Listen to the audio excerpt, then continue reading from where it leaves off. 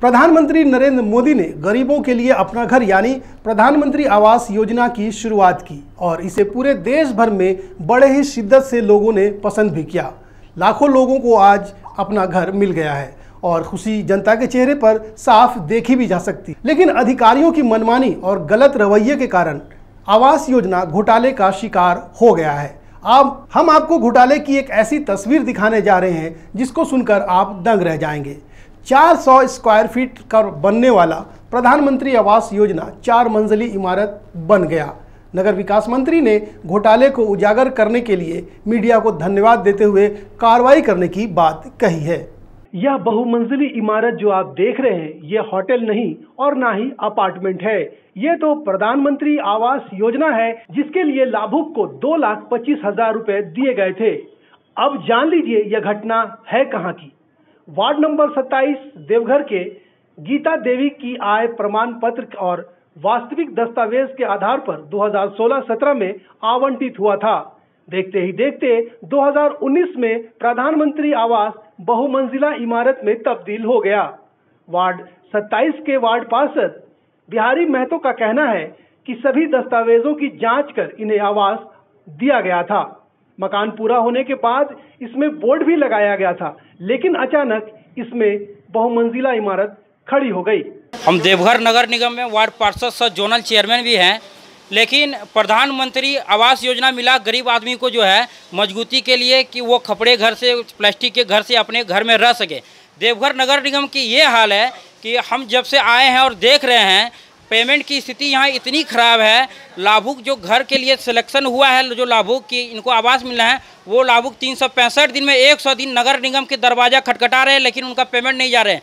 हमारे नज़र में वो लाभुक और गरीब होता जा रहा है वो अपनी नौकरी छोड़ करके यहाँ पेमेंट के लिए आ रहे हैं, यहाँ डेली घुमाया जा रहा। है यहाँ पे आप देख सकते हैं, यहाँ पे दो लैपटॉप है। एक लैपटॉप ऐसा लैपटॉप है, जिसमें कि सिर्फ़ दिखाया जाता नाम कि आपका नाम पेमेंट चल जाएगा, लेकिन ये जाता नहीं है। उसका उदाहरण मैं खुद हूँ, हमारे वार्ड का आचार संहिता, लोकसभा आचार संहिता से पहले नाम चढ़ा था लैपटॉप में, आज तक वो पेमेंट अभी तक भुगतान नहीं किया गया।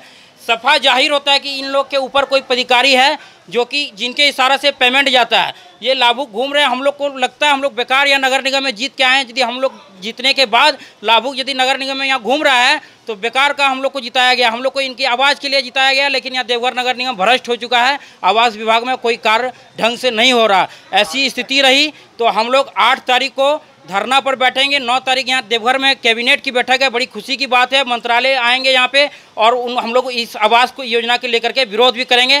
और इससे जितने संबंधित अधिकारी या जो भी कर्मचारी इसमें सम्मिलित है गरीब आदमी को यहाँ से घुमाया जा रहा है, भुगतान नहीं किया जा रहा, सबको देवघर नगर निगम से हटाने का कार्य करेंगे।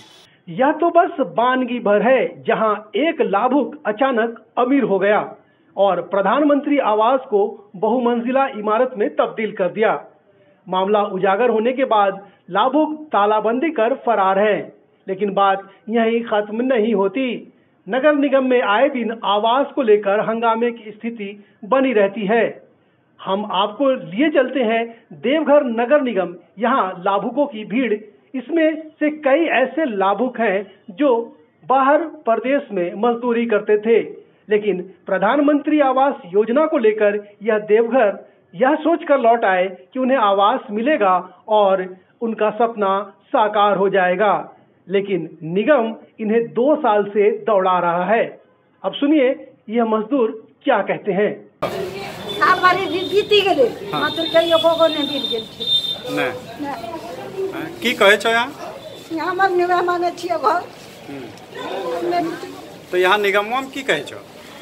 तऽ साल भरी भे गेलै हँ कहिया तऽ हमर कहियो को घर गिरी नहि गेल छै हमर तऽ हम कहाँ रहबै? तो अभी की रंग रहै छौ? ये अभी वएह खपड़ा गरम पानी चुगे छै हाँ। और वह रहे छियै। सब बाल बुतरू सब हाँ तऽ दू भी कटोरी गाड़ी दिए छियै हाँ। और वह रहे छियै। कहाँ जाबे घरा छोड़ी जा बाप दादा घर बने गेल छै खपड़ा के तऽ वएह घर में नहि रहबै। आ कै बार दौड़ल निगम में दस बेर।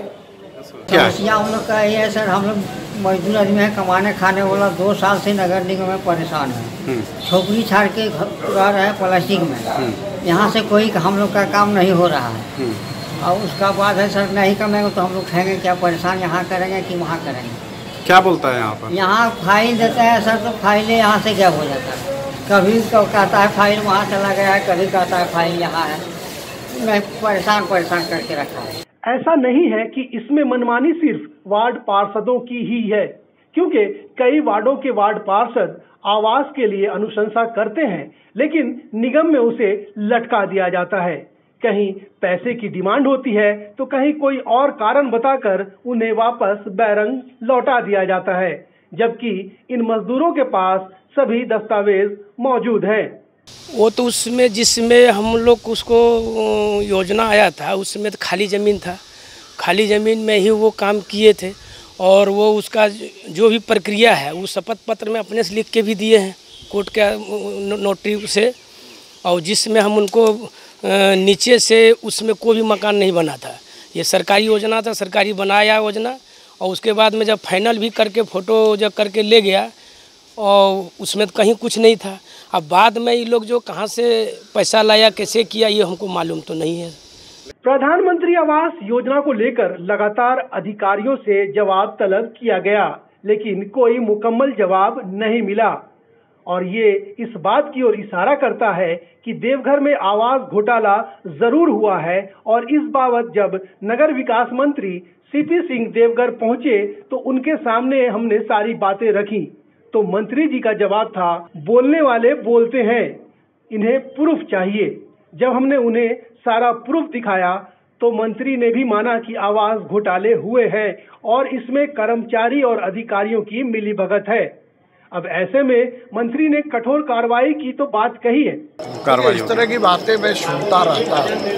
लेकिन आज तक एक व्यक्ति ने भी इस तरह की कोई कंप्लेन नहीं दिया। मैं एक बात कहना चाहता हूँ क्योंकि आपने ऐसा प्रश्न खड़ा किया है तो मैं समझता हूँ एक सामाजिक प्राणी होने के नाते हर व्यक्ति का दायित्व तो बनता है कि ऐसे गलत काम हो रहे हैं या हुए हैं तो उसको उजागर करना। क्योंकि आप मीडिया के लोग हैं, स्वाभाविक रूप से आपका काम है इस तरह की चीज़ें उजागर करना। मैं आज शाम को सात बजे तक हूँ, यानी ये दुमका इंटरसिटी से फिर वापस लौटना। है मुझे एक प्रूफ भी ऐसा हुआ है तो दें। लाकर दें। हम हम आपको देते हैं। मैं कह रहा हूँ लाके दीजिए मैं तुरंत इस पर कार्रवाई करूँगा और जो इसमें दोषी होंगे उन पर कार्रवाई करने में तीन दिन से ज़्यादा समय नहीं लगेगा। कुल मिलाकर गरीबों को अपना मकान मिले उनके सर पर भी छत हो और उनके भी सपने साकार हो। इसी सपने को साकार करने के लिए प्रधानमंत्री ने इस योजना की शुरुआत की थी, लेकिन अधिकारियों की मनमानी ने इसे घोटाला बना दिया। ज़रूरत है एक कार्रवाई की ताकि वाजिब गरीबों को उनका हक मिल सके। नगर विकास मंत्री ने घोटाले को उजागर कर मीडिया को धन्यवाद देते हुए कार्रवाई की तो बात कही है। देखना दिलचस्प होगा कि महा घोटाले का पर्दाफाश तो हो गया। अब कार्रवाई कब तक होती है? सबरंग समाचार के लिए देवघर से सुनील कुमार की रिपोर्ट।